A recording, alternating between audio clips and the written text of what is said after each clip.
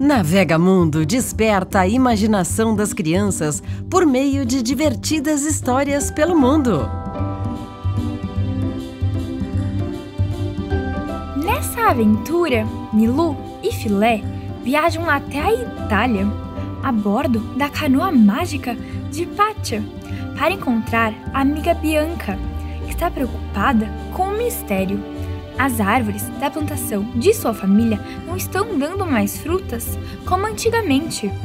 Ela tem que decifrar o enigma da carta escrita por sua tataravó para desvendar a solução desse mistério. Venha nessa aventura mágica com a gente!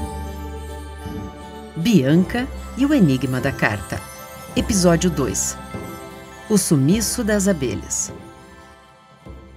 A canoa mágica de Pátia cruzou o Oceano Atlântico e lá do alto as crianças avistaram um país com o formato de uma bota. Olha lá! É a Itália! Milu apontou. De cima ela parece um pé chutando uma bola, não parece, filé? É mesmo! Deve ser por isso que os italianos são craques em futebol, como os brasileiros. Grupo estava viajando para perto da cidade de Vicenza. Era lá que morava a família de Bianca, a amiga italiana que os dois fizeram pela internet e que, dias antes, tinha pedido um favor muito especial descobrir o que estava escrito numa carta deixada pela tataravó da menina. Milu e Filé bem que tinham tentado fazer com que Bianca fosse com eles naquela aventura, mas ela tinha ficado com medo de viajar para o passado numa canoa mágica. Conforme iam descendo, Milu e Filé viram o córrego Anho, que serpenteava a região e alguns moinhos antigos que no passado geravam força para moer grãos. Prontinho, crianças, avisou Pátia, batendo com seu cajado no fundo da canoa. Quando quiserem voltar, é só meu nome chamar. Quando Pátia desapareceu, Milu olhou em volta e estranhou. Ué, estranho. Um pomar desse tamanho com quase nada de frutas? Não acha, filé? Andando entre cerejeiras e pessegueiros, Filé logo reconheceu Bianca sentada à beira de um riacho. Bianca! Ele gritou e a italianinha foi correndo até eles. Milu! Filé! Como vocês vieram do Brasil até aqui? Ela quis saber, surpresa. Depois de viajar até o passado, estamos aqui para te trazer a tradução da carta da sua tataravó. Você devia ter ido com a gente, Bianca. Foi muito legal. Filé disse, mas Bianca abaixou os olhos, envergonhada. Ela nunca tinha saído da cidade e tinha medo de voar. Milu reparou que a amiga ficou sem graça e foi logo contando. O importante é que agora sabemos as palavras. A carta diz que as árvores não vão florescer por causa das abelhas. Elas não estão mais visitando a plantação. E termina assim: Para resolver, é preciso olhar o passado com coraio. Ou seja, coragem. Você tem ideia do que isso quer dizer, Bianca? Bianca pensou um pouco.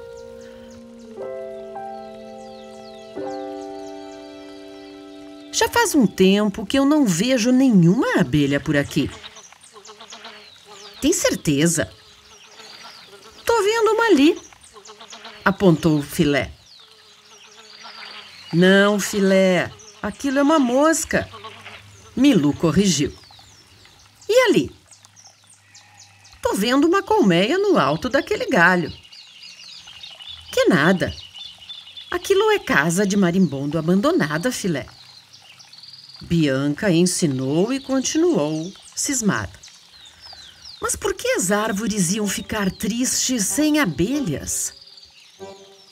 Ah, vai ver que as árvores gostam de mel. Filé fez piada e Bianca teve uma ideia. Podemos pesquisar na biblioteca. Só é meio longe. Não existe longe para a gente, Bianca. Milu anunciou e mandou a amiga fechar os olhos. Você vai ter uma surpresa. Um, dois, três e. Pacha! Me chamaram crianças. Elas ouviram Pátia dizer depois de aparecer magicamente a bordo de sua canoa voadora. Bianca bem que ficou com medo de subir, mas foi mesmo assim. Como dizia a carta da sua tataravó, era preciso ter coragem para resolver as coisas. Ali está a biblioteca. Pátia apontou do alto, enquanto Bianca mesmo agarrada na borda da canoa, ia perdendo medo. Se chama Vila Trícino. Era a casa dos antigos donos dessas terras. Os três amigos entraram no prédio da biblioteca de Cornedo, que era uma beleza mesmo. Como os livros estavam em italiano, era Bianca que iria ler. Ela não sabia por onde começar quando ouviu uma voz. Bianca, aqui! Oi? Quem falou? Ela perguntou e os amigos deram de ombros. Vocês ouviram alguma coisa? Eles fizeram que não. Aqui, Bianca, no alto! A voz disse novamente e a menina olhou para a última prateleira e viu algo estranho que parecia um pássaro batendo asas. Atenta, ela acompanhou seus movimentos no ar e percebeu o que era. Era um livro! E ele estava voando! Quando Bianca entendeu do que se tratava, pá! O livro caiu aberto bem na frente dela. Esse livro! Ele me chamou! E depois voou. Ela disse, ainda impressionada. Milu e Filé não tinham visto nada, mas como estavam acostumados com a magia de Pátia, acreditaram na palavra da amiga. No livro, as três crianças descobriram que as abelhas levam em suas perninhas uma coisa chamada pólen que é um pozinho das flores. É por causa do vai e vem desse pozinho que as frutas nascem. Mas Filé ainda estava encafifado. Entendi que quando as abelhas desapareceram, as frutas pararam de nascer. Mas como sua tataravó sabia? Ela era vidente. Na verdade, ela era sim, Bianca sussurrou. Ela conseguia entender o significado dos sonhos. Um dia, acordou assustada e escreveu a carta. Acho que foi ela quem fez esse livro voar até mim. Então, é melhor a gente avisar tudo isso para seus pais, Bianca. Milu sugeriu. Sim, eles estão em Vicenza agora no mercado. Vamos até lá?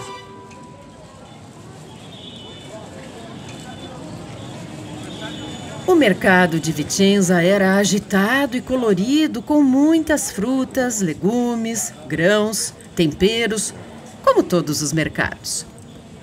Antes de entrarem na feira, que ficava na praça em frente à antiga Basílica Paladiana, Bianca fez questão de que os amigos experimentassem umas fritelle alla maresina, que era um bolinho açucarado tão gostoso que Filé comeu três de uma vez só. A família de Bianca tinha uma barraquinha, mas havia pouca fruta e estavam tão pequenas que não havia nenhum freguês. Bianca chegou correndo e explicou o caso. Alguma coisa está matando as abelhas, papá. Ela revelou. Ao ouvir aquilo, um senhor da barraca ao lado, que também tirava seu sustento da agricultura familiar, se vira para Bianca. É vero. O meu pomar também está com menos abelhas. Os três amigos se entreolharam. O sumiço das abelhas não tinha afetado só a família de Bianca, mas de seus vizinhos também. E agora? Como vamos fazer para as abelhas voltarem? perguntou Filé. Nesse momento, Bianca olhou para o grande relógio da praça e se lembrou de um trecho da carta da tataravó que dizia que era preciso olhar o passado e ter coragem. Era aquilo que sempre lhe faltou: coragem. Coragem. Repetiu pensativa. Mas como eu olho para o passado? Bianca perguntou. Bom, pode ser pesquisando como os povos antigos mantinham as abelhas por perto, sugeriu Milu.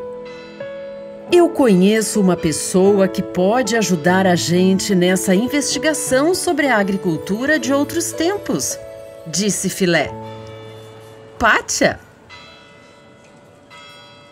Os três amigos foram para trás da torre do relógio chamar por Pátia.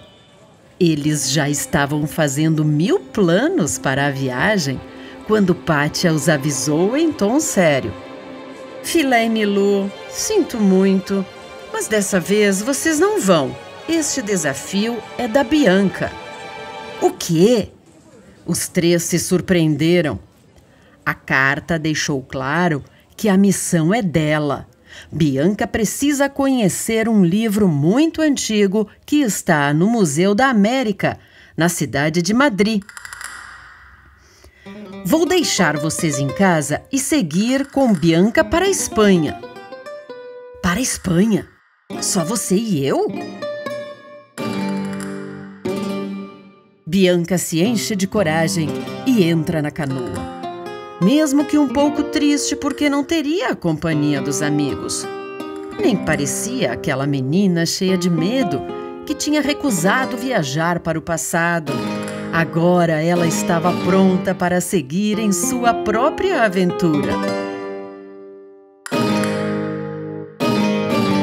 Fim. Navega Mundo podcasts de contos culturais para escutar em qualquer momento e lugar. Descubra a próxima aventura. Até lá! Este podcast encontra-se disponível também nos idiomas italiano, espanhol e inglês. Créditos: Realização Navega Mundo. Conceito e direção de Marta Elisa Castro Eberly. Financiamento: LIC Lei de Incentivo à Cultura de Caxias do Sul, Rio Grande do Sul, Brasil. Apoio Cultural. Empresas Randon, Racon Consórcios e Instituto Elisabetta Randon. Produção cultural de Cláudio Troian. Captação de recursos realizada por Capta Ação Gestão de Projetos. Roteiro de Angélica Lopes. O episódio de hoje foi apresentado por Elisa Lovati Eberly e foi narrado por Flávia Bellini. A produção de áudio foi realizada por Luciano Lubisco Leães. Traduções para o inglês, espanhol e italiano realizadas por Minsky Idiomas. Marketing digital e assessoria de comunicação executados por Liden em colaboração com Lato Senso. Ilustração de Adriano Oliveski. A cena ilustrada faz referência à Vila Trícino, Cornedo Vicentino, Itália.